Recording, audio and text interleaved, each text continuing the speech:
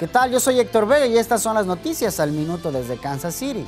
Hoy se celebra el 205 aniversario de la independencia de México en medio de una gran polémica por la situación política que vive el país.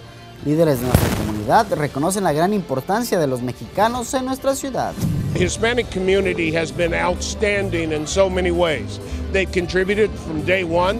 We have a great number of entrepreneurs that are starting to come out of the Hispanic community, something near and dear to my heart.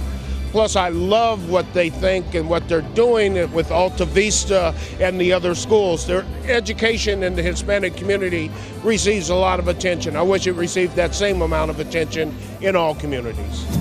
La ampliación de estas noticias hoy a las 10 de la noche. No se olvide seguirnos en nuestras redes sociales para más información.